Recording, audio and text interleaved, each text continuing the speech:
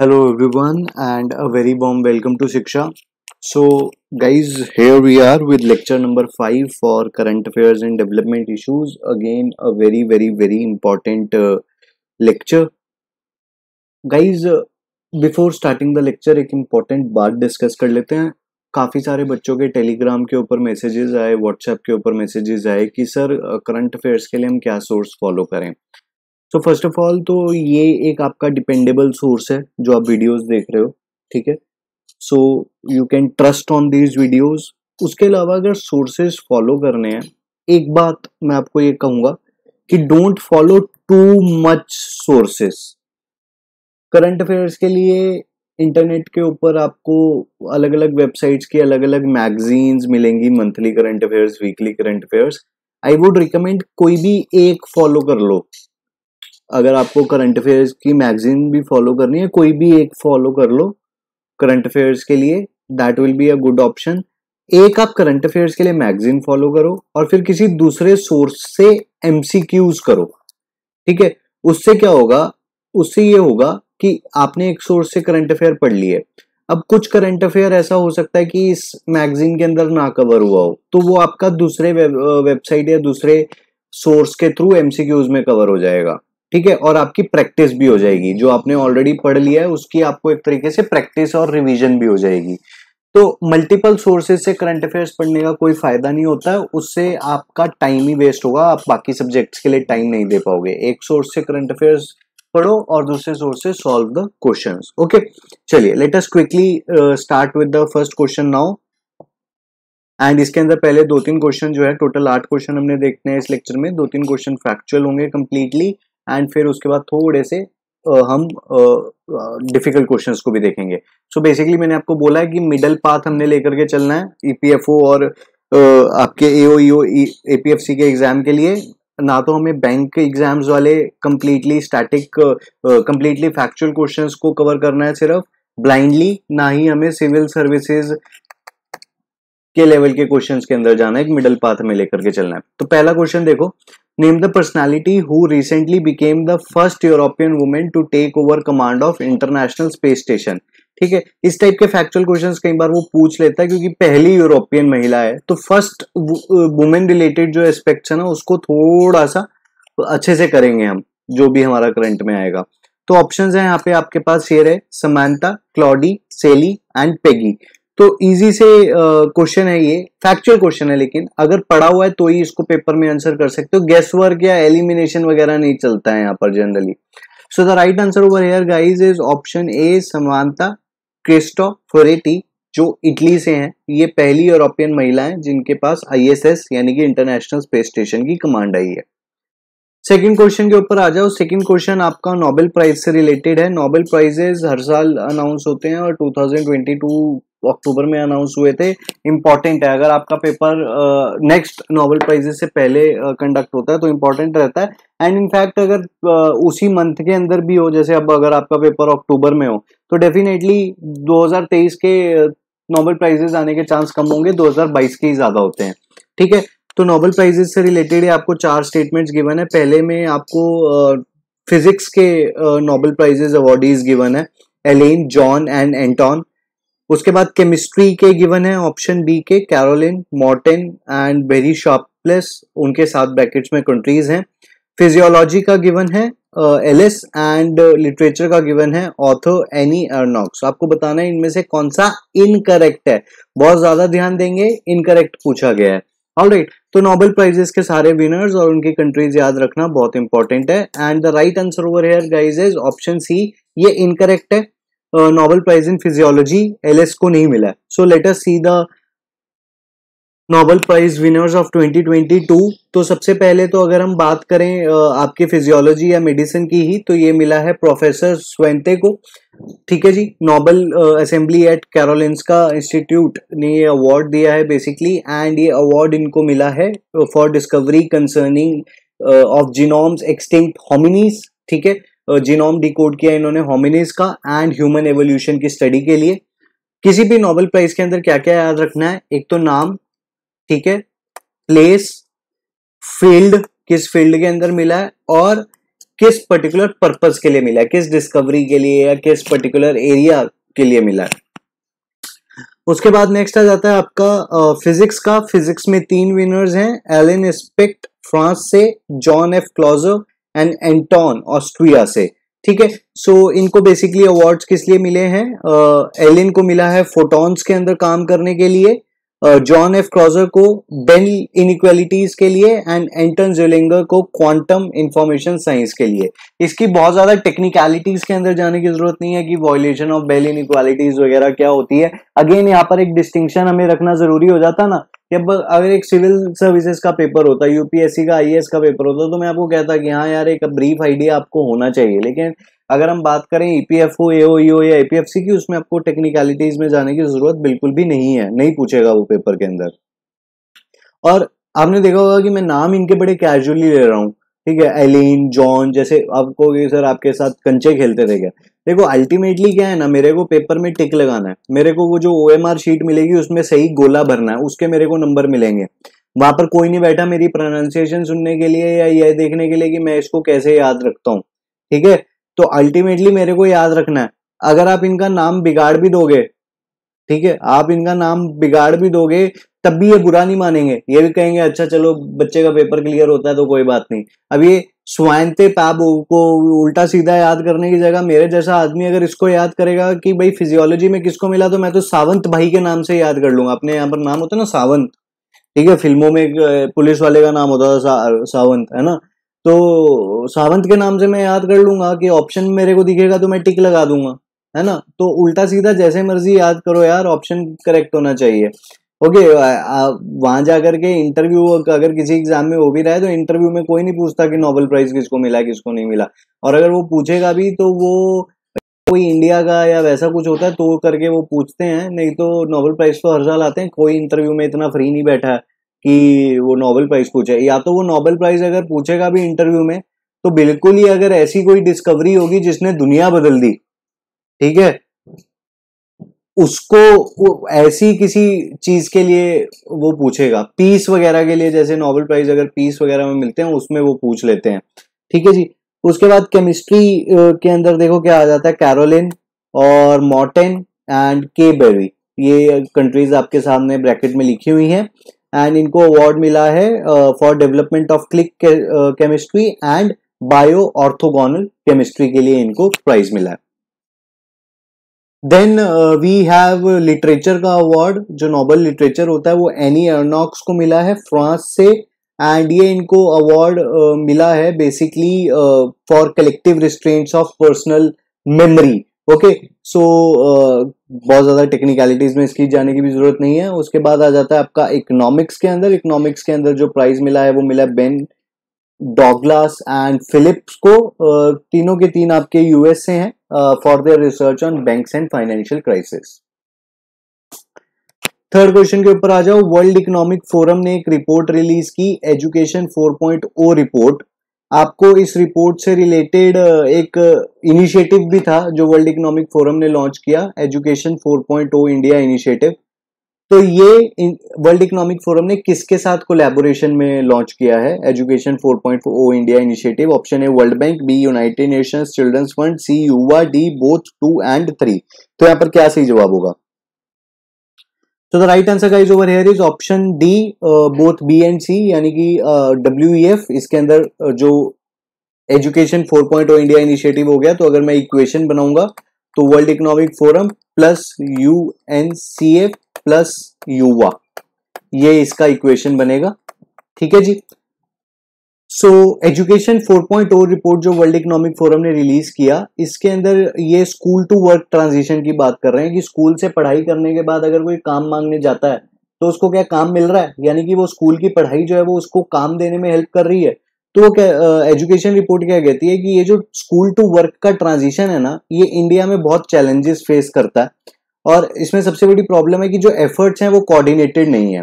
जो स्किल्स मिल रहे हैं, वो वर्क प्रोवाइड करने के लिए सफिशिएंट नहीं है। ओके और ये रिपोर्ट कहती है कि डिजिटल टेक्नोलॉजीज़ एक बहुत इंपॉर्टेंट रोल प्ले करेंगी। इस ब्रिज को फुल करने में। जो ये ब्रिज जा रहा है ना स्कूल से वर्क के बीच में, इसको ठीक करने के लिए ये डिजिटल टेक्नोलॉजीज़ इंपॉर्टेंट होंगी और इसीलिए डब्ल्यू ने एक प्रोग्राम लॉन्च किया जिसका नाम है एजुकेशन 4.0 इनिशिएटिव ये यूनाइटेड नेशन चिल्ड्रन फंड के साथ मिलकर के इन्होंने शुरू किया है और युवा के साथ बेसिकली जिसके अंदर इस गैप को फुलफिल करने की कोशिश की जाएगी। फोर्थ क्वेश्चन के ऊपर आ जाओ जी। ग्रामीण उद्यमी प्रोजेक्ट से रिलेटेड कुछ स्टेटमेंट्स आपको गिवन है। पहला स्टेटमेंट है कि ये देखो ministry of agriculture and farmer welfare का है। दूसरा focus is on providing employment student employment opportunity ठीक है जी। उसके बाद implemented in north eastern states of India आपको बताना है, इनमें से कौन सा करेक्ट है? ऑप्शन है आपके सामने A two only B one and two C one and three D one two and three ये बड़ा आसान क्वेश्चन है। और मैं इसलिए नहीं कह रहा कि ये स्कीम आसान है, क्योंकि इसके अंदर जो ऑप्शन है, अगर मैं थोड़ा सा भी दिमाग चलाऊं तो बड़ा इजीली सॉल्व कर सकता हूँ। देखो, ग्रामीण उद्यमी प्रोजेक्ट उद्यमी प्रोजेक्ट मेरे को समझ में आ जाता है, अगर मैंने थोड़ा बहुत करंट अफेयर्स पढ़ा है और सरकार की जो स्कीम्स हैं उसको अगर मैंने फॉलो किया है तो अल्टीमेटली आप देखोगे कि Udyami is something related to employment ठीक है? एम्प्लॉयमेंट से रिलेटेड और स्किल वगैरह से रिलेटेड होता है एमएसएमई सेक्टर e इस टाइप की स्कीम्स होती हैं। तो अल्टीमेटली यहाँ पर मिनिस्ट्री गिवन है एग्रीकल्चर एंड फार्मर वेलफेयर तो मेरे दिमाग में खटक रही है ये मिनिस्ट्री ठीक है, ग्रामीण उद्यमी प्रोजेक्ट के साथ मेरे को एग्रीकल्चर एंड फार्मर वेलफेयर की मिनिस्ट्री सुनते ही खटक रही है। तो सबसे पहले तो मैं इस मिनिस्ट्री को हटा दूँगा कि यार ये स्टेटमेंट करेक्ट नहीं लग रहा। तो अगर मेरे को पता चल गया कि यार मेरा फ़र्स्ट स्टेटमेंट करेक्ट नहीं है तो आपसे पूछा है करेक्ट कौन सा है? अब आप अगर ऑप्शंस में देखोगे बी में भी वन है सी में भी वन है डी में भी वन है। यानी कि ना बी आंसर हो सकता, ना सी आंसर हो सकता, ना डी आंसर हो सकता आंसर होगा सिर्फ़ और सिर्फ़ ए और यही इसका करेक्ट आंसर भी है टू ओनली ठीक है, बाकी स्टेटमेंट्स जो है वो गलत है मिनिस्ट्री ऑफ़ एग्रीकल्चर नहीं है। नॉर्थ ईस्टर्न तो किसी भी स्टेट में ग्रामीण उद्यमी प्रोजेक्ट नहीं है। सारी की सारी जो स्टेट्स हैं, वो apart from north eastern states हैं। तो थर्ड स्टेटमेंट भी इसीलिए गलत हो जाता है और सिर्फ़ और सिर्फ़ सेकेंड स्टेटमेंट करेक्ट है। तो ग्रामीण उद्यमी प्रोजेक्ट ये एक मल्टी स्किलिंग प्रोजेक्ट है, जिसको National Skill Development Corporation fund कर रही है। इसके अंदर बेसिकली ट्राइबल कम्युनिटीज की स्किल ट्रेनिंग का ये प्रोजेक्ट है, जिससे आप इंप्लॉयबिलिटी जो है वो इंक्रीज कर सकें through skill improvement employment opportunities create कर सकें लोकल एंड रूरल एरियाज़ में। इस प्रोजेक्ट को करंटली सिक्स स्टेट्स के अंदर रन किया जा रहा है, महाराष्ट्र, राजस्थान, छत्तीसगढ़ एमपी झारखंड एंड गुजरात। इनमें से कोई भी नॉर्थ ईस्टर्न स्टेट नहीं है। ठीक है? तो क्लियरली हमारा आंसर यहाँ पर हमको क्लियर हो जाता है। फिफ्थ क्वेश्चन के ऊपर आ जाओ, ये बड़ा अच्छा क्वेश्चन है। कॉन्स्टिट्यूशन बेंचेस कॉन्स्टिट्यूशन बेंचेस का जो, अब आपको लगेगा कि सर ये स्टैटिक क्वेश्चन है, लेकिन ये स्टैटिक क्वेश्चन नहीं है। अल्टीमेटली कॉन्स्टिट्यूशन बेंचेस से रिलेटेड बात चल रही थी अक्टूबर के अंदर। ये चलती रहती है क्योंकि कॉन्स्टिट्यूशन जो केसेस हैं, जो केसेस इन्वॉल्विंग कॉन्स्टिट्यूशनल एस्पेक्ट वो बहुत सारे पेंडिंग है सुप्रीम कोर्ट के अंदर एंड अक्टूबर के अंदर जब नए सुप्रीम कोर्ट के चीफ जस्टिस अपॉइंट हुए थे तो उन्होंने कहा था कि हम कोशिश करेंगे कि इस पेंडेंसी को कम किया जाए। तो कॉन्स्टिट्यूशन बेंच से रिलेटेड आपको कुछ स्टेटमेंट्स गिवन है और आपको बताना है कि कौन सा करेक्ट है। पहला स्टेटमेंट कहता है कि आर्टिकल 145.3 के अंदर कॉन्स्टिट्यूशन बेंच सेट करने का प्रोविज़न है। अच्छा जी स्टेटमेंट नंबर टू कहता है कि कॉन्स्टिट्यूशन बेंच के अंदर कम से कम तीन जजेस होने चाहिए जो सब्सटेंशियल क्वेश्चन ऑफ़ लॉ या इंटरप्रिटेशन ऑफ़ कॉन्स्टिट्यूशन का लिए सेट किया गया है। पाँच मेंबर का कोलिजियम जो है वो डिसाइड करता है कि कौन सा केस कॉन्स्टिट्यूशन बेंच के पास जाएगा। ऑप्शन डी कहता है कि अ जजमेंट बाय फाइव जज constitution bench can not be overruled कि अगर एक पाँच जज के कॉन्स्टिट्यूशन बेंच ने जजमेंट दे दी तो उसको ओवर रूल नहीं कर सकते। इस इस टाइप के क्वेश्चन जहाँ पर थोड़ा सा एनालिसिस लगाना है सब्जेक्ट की स्टडी की डेप्थ की रिक्वायरमेंट है, वहाँ पर एक एक स्टेटमेंट को पढ़ते जाओ और एक एक स्टेटमेंट को एलिमिनेट करते जाओ।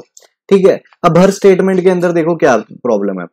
जो पहला आपका स्टेटमेंट है, पहला स्टेटमेंट बेटा बिल्कुल जो है वो ठीक है। आंसर इसके अंदर आपका ऑप्शन ए होने वाला है, क्योंकि आर्टिकल 145 थ्री के अंदर ही है। दूसरे स्टेटमेंट में क्या गलत है? हर वर्ड को ध्यान से पढ़ना इंपॉर्टेंट होता है यूपीएससी के एग्ज़ाम में, क्योंकि पूरी की पूरी स्टेटमेंट आपको सही दिखेगी, सिर्फ़ एक आधा नंबर का हेर फेर हो जाता है कई बार। अब जैसे दूसरा स्टेटमेंट है, इसमें क्या लिखा है कि कॉन्स्टिट्यूशन बेंच में कम से कम तीन जज होने चाहिए। ये तीन गलत है। इसमें कम से कम पाँच जज होने चाहिए। ठीक है? इसीलिए आपका सेकंड स्टेटमेंट गलत है। बाकी कुछ भी गलत नहीं है। तीन नहीं होंगे, पाँच होंगे। ऑप्शन सी में क्या गलत है? ऑप्शन सी कहता है कि पाँच मेंबर का कलिजियम डिसाइड करता है कि कौन सा केस कॉन्स्टिट्यूशन बेंच के पास जाएगा। ये गलत है। क्यों? क्योंकि ये किस जज बेंच के पास कौन सा केस जाएगा? वो सारे का सारा काम कौन करता है? वो चीफ जस्टिस ऑफ़ इंडिया करता है। वो जो लिस्ट है, वो चीफ जस्टिस ऑफ़ इंडिया बनाता है। वो एलोकेट करता है कि कौन से बेंच के पास कौन सा केस जाएगा। इसमें कलिजियम का कोई लेना देना नहीं है। तो इसीलिए सी भी गलत है। डी में क्या लिखा हुआ है? कि पाँच जज के कॉन्स्टिट्यूशन बेंच ने अगर कोई जजमेंट दे दी उसको ओवररूल नहीं किया जा सकता। ऐसा हाँ, देखो कॉन्स्टिट्यूशन को हमने फ्लेक्सिबल और अमेंडमेंट का सिस्टम हमारे मेकर्स ने क्यों बनाया था? कि एक फ्लेक्सिबिलिटी रहे विद टाइम चेंजेस लाने पड़ते हैं। तो ये पत्थर की लकीर थोड़ी हो गया कि पाँच जजों ने अगर कोई जजमेंट दे दी तो वो हम ओवर रूल ही नहीं कर सकते। तो ये तो गलत है। इसके अंदर होता क्या है? प्रोसेस ये होता है कि अगर फॉर एग्ज़ाम्पल पाँच जज के बेंच ने कोई जजमेंट दे दी अब इसको ओवर रूल करने का अधिकार इससे बड़ी बेंच के पास है। ठीक है? यानी कि फॉर एग्ज़ाम्पल सात जज की बेंच है। वो पाँच जज की बेंच वाले डिसीज़न को ओवर रूल कर सकती है। ठीक है? अब कोई दूसरी पाँच जज की अगर बेंच बन जाती है, वो इसके डिसीज़न को ओवररूल नहीं कर सकती। ठीक है? अब जैसे सात जज के बेंच ने अगर कोई डिसीज़न दे दिया, इसके डिसीज़न को कौन ओवररूल कर पाएगी? नौ जज के। ठीक है? बेंच कॉन्स्टिट्यूशन के ऐसे ही बनते हैं मिनिमम पाँच जज फिर सात हो सकते हैं या नौ हो सकते हैं। ऑर्ड नंबर में चलता है। सात, नौ, ग्यारह, तेरह ऐसे हो सकता है। ये ऑर्ड नंबर इसीलिए होता है ताकि वो कंफ्लिक्ट ना आए ड्रॉ वाला। ओके तो आंसर यहाँ पर आपका ऑप्शन ए हो गया। एक बार थ्योरी देख लो ताकि आपको क्लियर हो जाए कि कौन से स्टेटमेंट्स इसके अंदर सही है और कौन से गलत है। Just give me a moment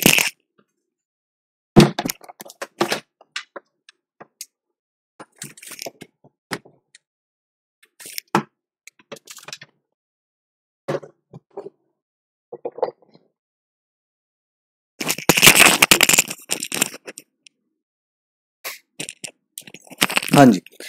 तो पहला स्टेटमेंट आर्टिकल 145.3 है कि ये कॉन्स्टिट्यूशन बेंच के सेटअप से रिलेटेड प्रोविज़न है। ठीक है? मिनिमम पाँच जज हो सकते हैं एंड उसके अलावा सात, नौ so on there can be odd number होगा। ठीक है? जो जजेस कौन से जज कौन से कॉन्स्टिट्यूशन बेंच में आएँगे, वो चीफ जस्टिस डिसाइड करता है कौन का, कौन सा केस किस बेंच के पास जाएगा, वो सब सीजीआई डिसाइड करता है। इंपॉर्टेंट जो कॉन्स्टिट्यूशन बेंच के पास केसेस रहे हैं, जो आप पॉलिटी के अंदर पढ़ते हो, वो यहाँ पर आपको लिस्ट गिवन है। लार्जेस्ट जो आज तक का कॉन्स्टिट्यूशन बेंच बना है, वो Kesavananda Bharati versus state of Kerala के अंदर बना है, जिसमें तेरह जज थे। अब देखो, अगर Kesavananda Bharati versus state of Kerala वाले जो बेंच की जजमेंट है, अगर उसको ओवर रूल करना है तो उसके लिए कम से कम पंद्रह जज की बेंच बैठेगी तो वो ओवर रूल हो सकता है। कोई पाँच जज की बेंच कॉन्स्टिट्यूशन बेंच इस केशव नंदा भारती केस की बेंच के डिसीज़न को ओवर रूल नहीं कर सकती। सिक्स क्वेश्चन के ऊपर आ जाओ। वर्ल्ड इकोनॉमिक आउटलुक से रिलेटेड आपको स्टेटमेंट्स गिवन है स्टैटिक क्वेश्चन है, लेकिन रिपोर्ट बेस्ड क्वेश्चन पेपर में आते हैं। तो पहला स्टेटमेंट है कि ये जो रिपोर्ट है, ये बाय एनुअली पब्लिश की जाती है वर्ल्ड इकोनॉमिक फोरम द्वारा। बाय एनुअली का क्या मतलब होता है? साल में दो बार। दूसरा स्टेटमेंट है कि रिपोर्ट जो है global growth forecast global economy debt statistics for member countries provide करती है। इनमें से आपको करेक्ट स्टेटमेंट बताना है। One only two only both neither okay so यहाँ पर आपका करेक्ट आंसर दोस्तों क्या होगा? देखो रिपोर्ट बाय एनुअल है, यानी कि साल में दो बार पब्लिश की जाती है एक बिल्कुल सही है। कई बार एक स्टेटमेंट के अंदर दो पॉइंट होते हैं। एक सही होता है गलत होता है तो दोनों को पहचानना ज़रूरी होता है। रिपोर्ट बाय एनुअल है, लेकिन पब्लिश कौन करता है? आईएमएफ करता है। ठीक है? वर्ल्ड इकोनॉमिक फोरम नहीं करता। तो इसीलिए पहला स्टेटमेंट गलत हो गया। यानी कि ऑप्शन ए नहीं हो सकता ऑप्शन सी नहीं हो सकता। Report global growth forecast global economy किस मेंबर कंट्री के कितना कर्जा है, वो सब शो करती है। तो सेकेंड स्टेटमेंट बिल्कुल करेक्ट है आंसर होगा यहाँ पर आपका ऑप्शन बी जो करेक्ट आंसर होगा। ठीक है? So world economic outlook publish twice year by IMF report में output inflation employment physical balances debt statistics ये सब होता है। सेवेंथ क्वेश्चन के ऊपर आ जाओ। सेवेंथ क्वेश्चन है related to ISRO's L V M three आपको स्टेटमेंट्स गिवन है। पहला स्टेटमेंट कहता है कि ये इसरो का सबसे बड़ा स्पेस क्राफ्ट है which was formerly called G S L V M K three दूसरा स्टेटमेंट कहता है कि ये लो अर्थ ऑर्बिट और जियो सिंक्रोनस ट्रांसफ़र ऑर्बिट दोनों के अंदर सैटेलाइट लॉन्च कर सकता है। तीसरा स्टेटमेंट कहता है कि ये इंडिया का जो अपकमिंग सेकेंड मार्स मिशन है गगनयान उसका डेजिग्नेटेड लॉन्च व्हीकल है। आपको बताना है इनमें से कौन सा स्टेटमेंट जो है करेक्ट है। अब देखो अगेन मैंने आपको कहा ना, वो छोटी छोटी चीज़ों में फंसाने की कोशिश करता है, जो बच्चे कई बार इग्नोर कर देते हैं। अब इस क्वेश्चन के अंदर सबसे पहले आंसर आपको बताऊँ, पहला स्टेटमेंट सही है, दूसरा स्टेटमेंट सही है, तीसरा स्टेटमेंट गलत है, और तीसरा स्टेटमेंट भी कई बार ध्यान से ना देखो तो छूट जाता है बच्चे से। अब इसके अंदर क्या लिखा है कि गगनयान, बिल्कुल सही है, ये लॉन्च व्हीकल है, गगनयान का, जो 2024 में होगा, लेकिन गगनयान क्या है? वो पहला ह्यूमन स्पेस फ़्लाइट मिशन है इंडिया का। वो सेकंड मार्स मिशन नहीं है इंडिया का। गगनयान क्या है? पहला ह्यूमन स्पेस फ़्लाइट मिशन है। तो ये सेकंड मार्स मिशन जो इसने लिख दिया ना, ये गड़बड़ है। बाकी बिल्कुल सही है कि लॉन्च व्हीकल होगा वो गगनयान का। वो बिल्कुल सही है। तो एक पॉइंट सही है, एक पॉइंट गलत है इस तरीके से। तो आंसर यहाँ पर आपका क्या होगा? Option D one and two only okay so I S R LVM three ये इंडिया का सबसे बड़ा स्पेस क्राफ्ट है इसका पहले नाम था जीएसएलवी एम के थ्री। ये three stage lift launch vehicle है, दो सॉलिड स्टैप एक कोर लिक्विड बूस्टर एंड एक है आपका क्रायोजेनिक क्रायोजेनिक के लिए जो इंजन इसके अंदर यूज़ होता है, जो इंजन का पावर होता है, वो सीई ट्वेंटी है, जो इंडिया का सबसे बड़ा क्रायोजेनिक इंजन है। जियो सिंक्रोनस ट्रांसफ़र ऑर्बिट में 4000 केजी तक का weight and low earth orbit में 8000 केजी तक का सैटेलाइट्स को ये लॉन्च कर सकता है कम्युनिकेशन सैटेलाइट्स को लॉन्च कर सकता है जियो स्टेशनरी ऑर्बिट के अंदर एंड एलवीएम थ्री को इंडिया कॉमर्शियल लॉन्च सर्विसेज़ के लिए भी यूज़ कर रहा है और आने वाले जो दो इंपॉर्टेंट मिशन है, जो इंडिया का सेकेंड मून मिशन है और इंडिया का पहला human space flight mission Gaganyaan जो 2024 में जाएगा, दोनों आईएस इसरो के एलवीएम थ्री रॉकेट से ही लॉन्च किए जाएँगे। लास्ट क्वेश्चन पे आ जाओ इस लेक्चर के। अब अगेन सुप्रीम कोर्ट से रिलेटेड कॉलेजियम कॉलेजियम तो न्यूज़ में रहता ही रहता है। उससे रिलेटेड कुछ स्टेटमेंट्स गिवन है। पहला स्टेटमेंट है कि सुप्रीम कोर्ट का कॉलेजियम जो है इसके अंदर एक चीफ जस्टिस ऑफ़ इंडिया होता है और चार सीनियर मोस्ट जज होते हैं सुप्रीम कोर्ट के। दूसरा स्टेटमेंट कहता है कि ये रिकमेंडेशन करता है कॉलेजियम अपॉइंटमेंट के लिए सिर्फ़ सुप्रीम कोर्ट के जजेस की। ऑप्शन डी कहता है कि ये सरकार के डिसीज़न को वीटो कर सकता है। अगर आ, सरकार अपॉइंटमेंट के जो नेम्स हैं उसको रिकंसिडर करने के लिए भेजती है। ऑप्शन डी कहता है कि सीजेआई एंड जजेस of supreme court are appointed by president under article one two four आपको बताना है इनमें से कौन सा स्टेटमेंट करेक्ट है। ठीक है अगेन चौथा स्टेटमेंट तो बड़ा आसान सा है, देखो। क्योंकि अगर आपने थोड़ा भी पॉलिटी पढ़ा है तो आपको पता है कि सीजीआई और जो सुप्रीम कोर्ट के जज है प्रेसिडेंट अपॉइंट करता है। कहीं पे कंफ्लिक्ट आएगा तो वो आएगा कि आर्टिकल 124 याद है कि नहीं। तो चौथा स्टेटमेंट करेक्ट है दोस्तों आर्टिकल 124 के अंडर ये लिखा है। तो चौथा स्टेटमेंट करेक्ट है, यानी कि मेरा बी ऑप्शन एलिमिनेट हो जाता है। ठीक है बी ऑप्शन एलिमिनेट हो जाता है, क्योंकि बाकियों में तो फोर है ही। अब पहले स्टेटमेंट के ऊपर आ जाओ। पहला स्टेटमेंट कहता है कि सुप्रीम कोर्ट के कॉलेजियम में एक चीफ जस्टिस और चार सीनियर मोस्ट जजेस होंगे। बिल्कुल करेक्ट स्टेटमेंट है। ये ही इसका कॉम्पोजिशन होता है। सुप्रीम कोर्ट के कॉलेजियम में कौन कौन होता है? चीफ जस्टिस ऑफ़ इंडिया और चार सीनियर मोस्ट जजेस तो ऑप्शन कोई एलिमिनेट हो रहा है? नहीं हो रहा। ऑप्शन कोई एलिमिनेट नहीं हो रहा क्योंकि सबके अंदर वन भी है। Okay second statement it can make recommendation for appointment only to supreme court. ये थोड़ा सा डाइसी है कि क्या सिर्फ़ सुप्रीम कोर्ट के जजेस के लिए सुप्रीम कोर्ट का कॉलेजियम रिकमेंडेशन देता है प्रेसिडेंट को। ये गलत है, क्योंकि हाई कोर्ट के जजेस के लिए रिकमेंडेशन भी सुप्रीम कोर्ट का ही कोलिजियम देगा प्रेसिडेंट को। हाई कोर्ट के जजेस को भी प्रेसिडेंट ही अपॉइंट करता है। तो सेकंड स्टेटमेंट गलत है। सेकंड स्टेटमेंट गलत है, यानी कि मेरा ऑप्शन डी एलिमिनेट हो गया। अब मेरे पास दो ऑप्शन बचे हैं one and four one three and four तो अब थ्री के ऊपर डिपेंड करेगा कि कौन सा आंसर होगा। थ्री कहता है इट कैन वीटो अब देखो कोलिजियम क्या करता है? कोलिजियम बेसिकली अपॉइंटमेंट के लिए नाम भेजता है सरकार के पास। कि हाँ भाई, ये हमारे चुने हुए नाम है, इनको अपॉइंट करवा दो। इसके अंदर सरकार क्या कर सकती है? सरकार एक बार सरकार को कोई नाम पसंद नहीं आया, या सरकार कोई अपना नेम ऐड करना चाहती है तो सरकार वापस भेज सकती है। लिस्ट कि हम इसके ऊपर आप रिकंसिडर कर लो। अब जब सुप्रीम कोर्ट के पास वो रिकंसिडरेशन के लिए आया तो सुप्रीम कोर्ट के पास दो ऑप्शन है। या तो वो उसको एक्सेप्ट कर ले, कि हाँ ठीक है, जो आप कह रहे हो, वो हम एक्सेप्ट करते हैं। या सुप्रीम कोर्ट कहे, नहीं, हमें नहीं आपकी रिकमेंडेशन एक्सेप्ट करनी। तो एक तरीके से सुप्रीम कोर्ट वीटो कर सकती है सरकार को। ये बिल्कुल सही स्टेटमेंट है। थर्ड स्टेटमेंट बिल्कुल सही है तो आंसर यहाँ पर होगा आपका option C one three and four ठीक है? तो कोलेजियम से रिलेटेड ये इन्फॉर्मेशन है। अपॉइंटमेंट वन टू फोर के अंदर लिखी है प्रेसिडेंट अपॉइंट करता है। After consulting the Supreme Court and High Court जजेस सीजेआई हर अपॉइंटमेंट में प्रेसिडेंट को कंसल्ट करना पड़ेगा एक्सेप्ट उसकी खुद की अपॉइंटमेंट ओके okay?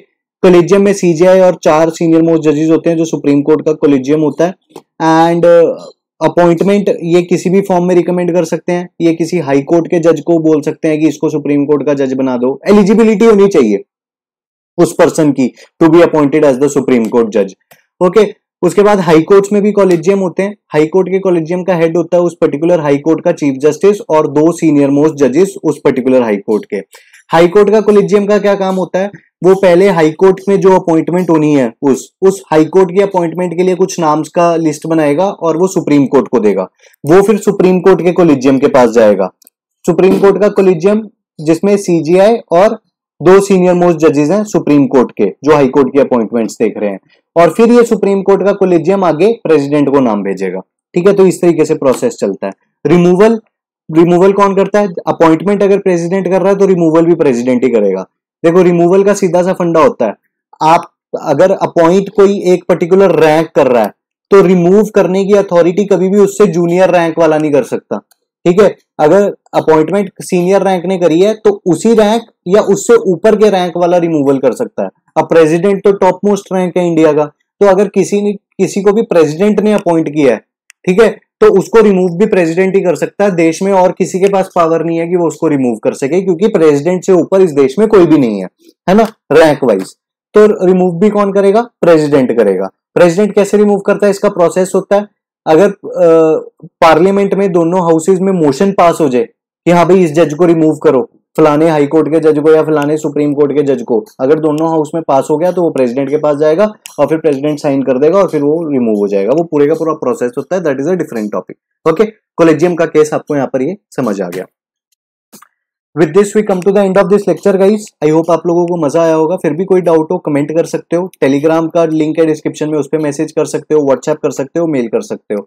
ठीक है? पीडीएफ का लिंक डिस्क्रिप्शन में सिर्फ़ नाइनटी नाइन रुपीज़ आपको पे करने हैं just for seriousness nothing else ठीक है? नाइनटी नाइन रुपीज़ आप भी समझ सकते हो कि सौ रुपए it is not a big deal बस एक सीरियसनेस और एक सेंस ऑफ़ कॉन्ट्रीब्यूशन एक सेंस ऑफ़ पार्टिसिपेशन इनकरेज करने के लिए है ये नथिंग एल्स ओके चलिए मिलेंगे नेक्स्ट लेक्चर में. Till then take care and bye